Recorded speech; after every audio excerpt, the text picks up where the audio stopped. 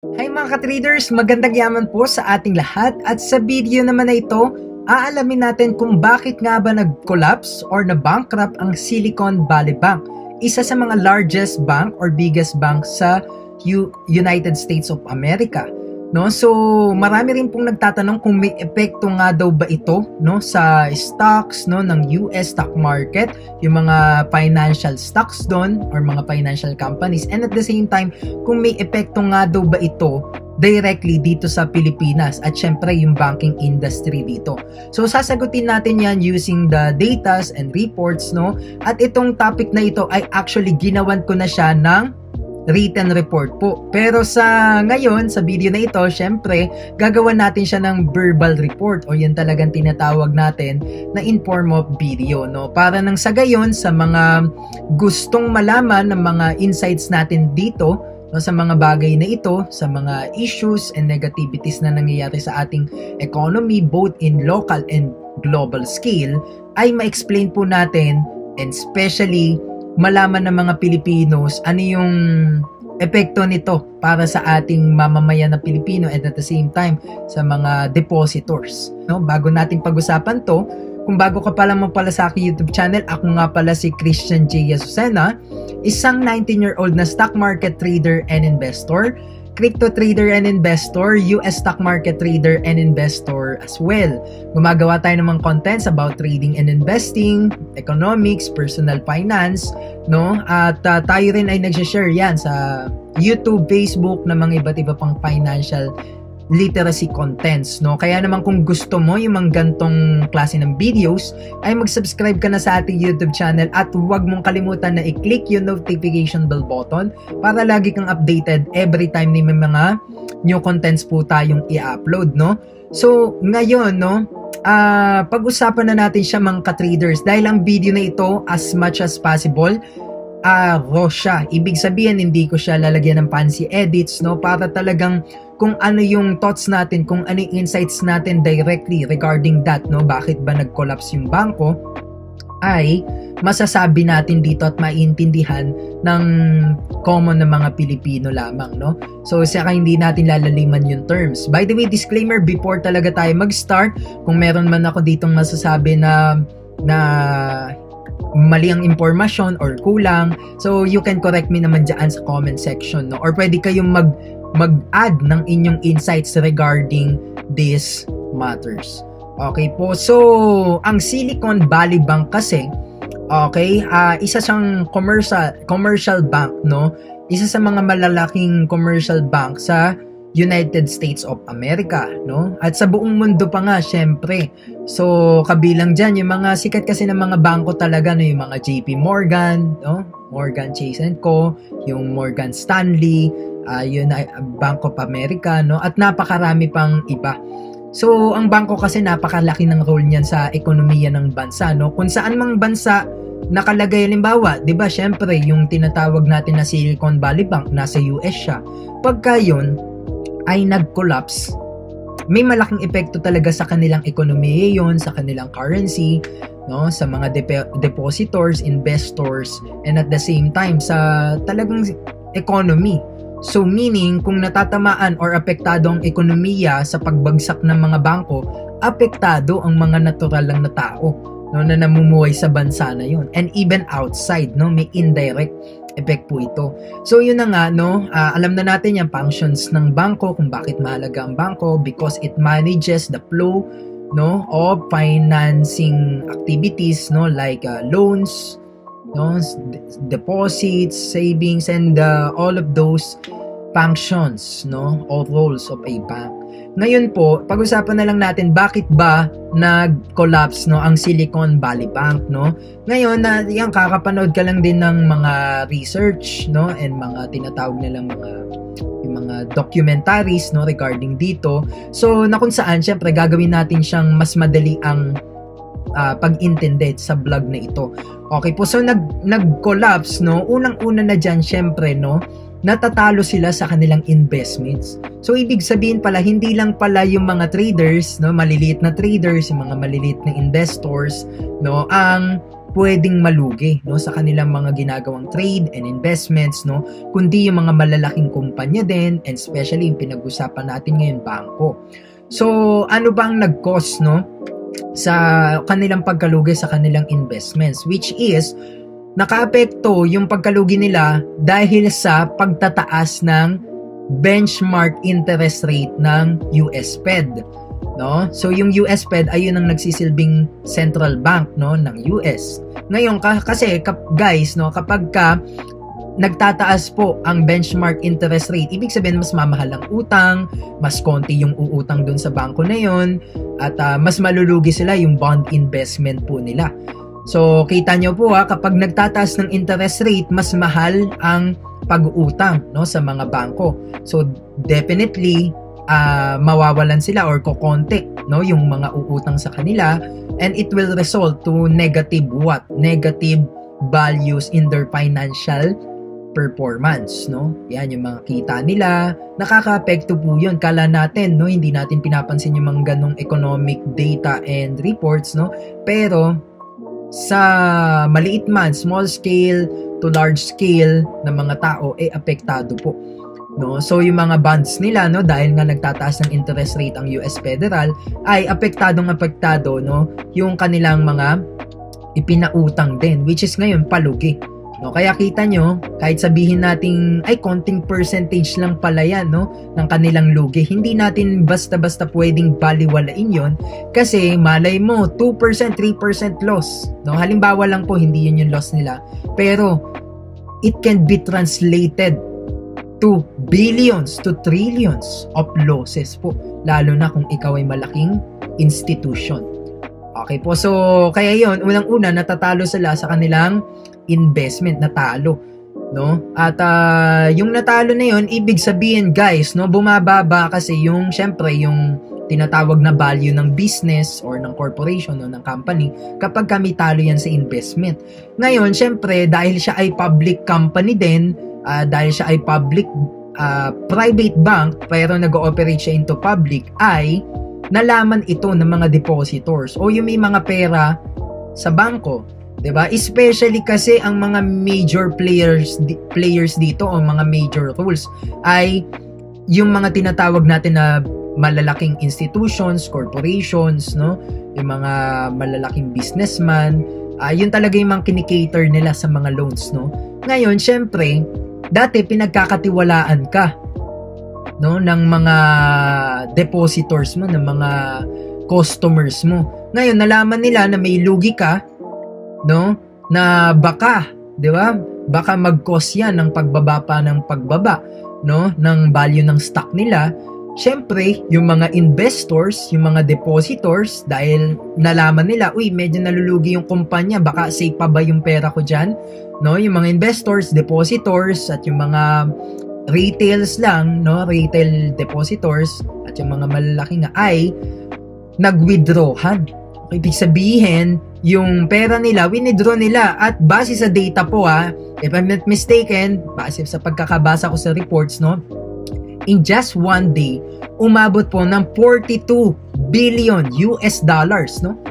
Ang winidraw ng lahat ng mga depositors dito in one day. So, talaga napakalaki, 42 billion, no? Dollars ha, not pesos. Tapos billion pa.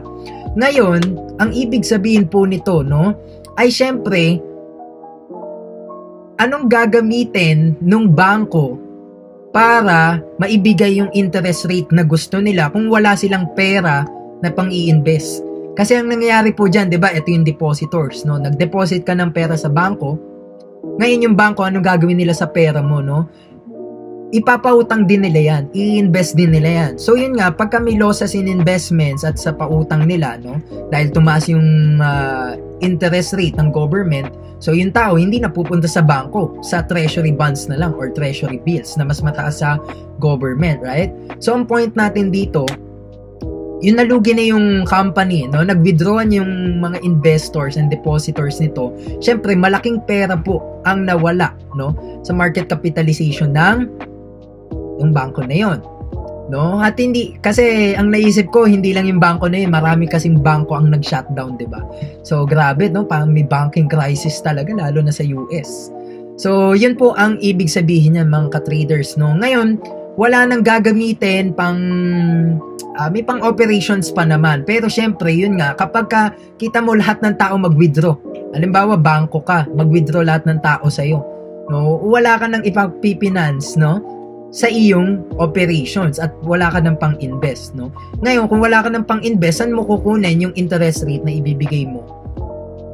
Interest payment na ibibigay mo doon sa iyong mga depositors and investors, no? So it means hindi man hindi na magpa-function yung bangko, no? Hindi nakikita yung bangko, wala nang pumapasok na pera, wala nang ipang bibigay, wala na, no? And it can be uh, it can cause, no, or it can lead to ayan nga bankruptcy. Kapag kami nangyayari pong pure uncertainty and doubt no sa isang financial institution 'di ba? So actually nung una 'di ba nung let's say 'di ba mga morning konti pa lang ang nag-withdraw 'di ba? Yan kasi yung tinatawag din natin sa trading na pure uncertainty and doubt no? And panic selling 'di ba? Kapag ka nag-sell yung iba anong maiisip ng iba? Uy, sell na rin tayo, no? Withdraw na natin yan. Baka biglang mag-shutdown. Nag-withdraw na, nag-withdraw na, nag-withdraw nang nag-withdraw. Nang nag-withdraw. Hanggang sa yung US, uh, I mean, yung, yung stocks nila ay bumaba nang bumaba nang bumaba, no? In 50% in one day, no?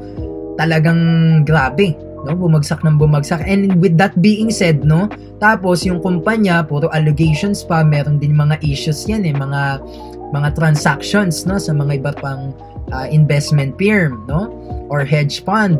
So nalugi nang nalugi nang nalugi. Kaya ang resulta ngayon, bankruptcy, wala, 'di ba? Kung may pera ka doon at hindi mo na ma-withdraw, ayun pa nga ang isang usapan no na yung uninsured deposits sa US. Kasi po ang uninsured deposit lang po sa US ay 250,000 US dollars no. 250,000 US dollars ng FDIC doon. No? So dito naman sa Pilipinas, meron din tayong ganyan, yung PDIC, up to 500,000 Philippine peso lang po ang coverage niyan or yung insured deposits po natin dito. No? Yan, para sa kalaman ng lahat. Ngayon, eh, halos no, 90% plus ng deposits doon eh hindi pala secured. Nag-withdrawan talaga. Especially, ang may malaking role nga dito, no, kapag ka nag-withdraw, yung mga malalaking firms or companies no sa bangko mo. Halimbawa ako no, meron akong deposit sa iyo na no tinatawag natin Philippine peso, 10 billion pesos no. Malaking kawalan sa iyo 'yon pagka ako nag-withdraw. No, kasi ibig sabihin wala ka nang magagamit. And definitely okay lang naman 'yun. Okay lang naman mag-withdraw kasi one of the principles of banking, no, banking system is what, no? Liquidity. Ibig sabihin, yung pera ng mga depositors anytime they should uh pwede, pwede silang ma-withdraw no anytime. Anytime pwede na lang mabawi yung pera nila, no? From your what institution or bank. So kaya yun po yung kwento or dahilan, no? Uh, sinamarize lang natin pero maraming kwento yan. Pero I hope kumbaga hindi ko man naipaliwanag ng buong buong buo no? Eh I hope sa principles ng banking ay meron po kayong natutunan no? Na ang lesson learned dito unang-una um, i-research mo rin muna no? Kung saan ka magde-deposit na bangko. Baka kasi mamaya yun largest bank na yun ha? One of the largest bank talaga or financial institution sa US pero nangyari nawala pa rin, di ba? Nagka-problema pa rin. Ibig sabihin lang, hindi porket malaki ka, wala ka na magiging problema, no? So, yun nga, di ba? At uh, ngayon, ang tanong naman sa atin, no, meron po ba yung epekto sa, ayun ah, naging 14 minutes na yung video natin, pero okay lang, hindi ko na po ikakat ito para mas maintindihan po ninyo maigi yung ating discussion or topic. Ngayon, may epekto ba no sa banking industry ng Philippines, no? Yung nangyayari ngayon sa US. Ang sagot po natin diyan ay syempre yes, no? Meron din naman uh, hindi natin pwedeng ipagsawalang bahala yan dahil uh, ang US syempre at yung bangko na yon isa nga sa pinakamalaking malaking bansa ang US no grabe state yan napakadaming federal states niyan no So, ang Pilipinas, syempre, maliit lang na bansa yan. Pero yes, we are good in resources. Pero ang tanong lang, may epekto ba yan sa bangko dito sa Pilipinas, yung mga BPI, BDO, Security Bank, no, Development Bank of the Philippines, at napakarami pang private and public uh, banks, no? Ngayon, uh, sagot natin dyan, yes, no? Psychological factors muna. Dahil, syempre, kung depositors ka sa dito sa Pilipinas, iisipin mo din, uy, nangyari na sa US. Nangyari sa US, no? baka mangyari din sa Pilipinas, no? Baka mangyari din sa BDO, baka mangyari din sa BPI o kung anumang bangko ang meron ka. Pero ang point natin dyan ganito, no? Base naman sa pag-aaral, no? At hindi ito galing sa akin, na, na, na research ko lang din, na pag-aralan, no? Na diretsahin na natin, no? May epekto po yan sa psychological factors, no? Ng mga Pilipino uh, sa bangko nila, no? So, kaya nga on the first day on March 10, 2023, bumagsak halos karamihan ng banking stocks, no? BPI, BDO, uh, ah, yung Security Bank, no? At yung mga iba't iba pang banking stocks that are those are listed in the Philippine Stock Exchange, bumaba po yan in value. So, masasabi natin yes, no? Meron silang epekto. Pero, kamusta nga ba ang stability no? And resiliency ng mga bangko dito sa Pilipinas no? Kasi may tinatawag tayong mga mga metrics diyan eh para ma-measure po yung kung stabilize ba sila o hindi. Katulad ng mga net interest uh, margins no? Katulad ng mga solvency ratios no? Ng mga companies na yan na kung saan nagpapa nagpapa tibay no ng kanilang uh, tinatawag na financial stability para hindi agad sila magsara.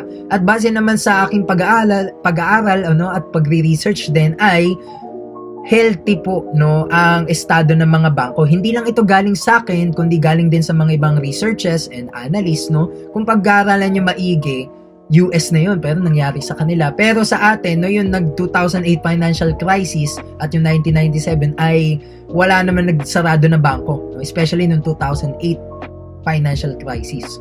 So kaya ang point natin dyan mga ka-traders ay research yung maigi kung anong bangko papasukin nyo. No, kahit na matagal na yan o malaking bangko daw sila kasi nagkakaproblema pa rin. Wala namang perfecto po ano. So, kaya yon mga ka-traders, uh, base naman sa aking pagre-research, pag-aaral, okay naman no, ang mga bangko dito sa Pilipinas. Especially advantage din kasi yon pagka malaki ang kanilang market capitalization, no, malaking bangko sila, kilala sila, at uh, syempre, trusted sila no, ng mga maraming depositors, investors, and the citizens of a country. Okay, so I hope mga ka-traders hanggang dito na lang muna ang ating vlog ngayon kasi napahaba na naman ang ating video.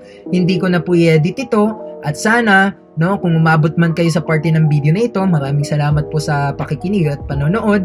Sana po marami kayong natutunan sa vlog natin ngayon, especially about banking and the financial institution dahil may subject po akong ganyan sa course namin ngayon na marami rin naman akong natututunan at yung natututunan ko na yun ay sinashare ko naman po siya dito. Okay po, so yan mga ka-traders, kung gusto nyo pa ng mga magantong contents, no, ay comment nyo lang sa comment section kung ano yung mga particularly banking topics ang gusto nyo o kung kahit hindi banking, no, mag-request lang kayo or suggest ng mga contents na gusto nyong ipagawa sa akin para yun ang gagawin natin ng mga videos at uh, makabigay tayo ng sufficient no and efficient learnings and valuable informations and principles regarding po sa inyong pag-aaral no kung saan mang mga financial matters po yan. So again, kung may natutunan kayo no ay i-comment nyo dyan sa comment section para nang again, syempre, malaman natin kung kayo ba ay may nakuwang uh, mga good lessons dito and insights no sa ating sinner ngayon na vlog no.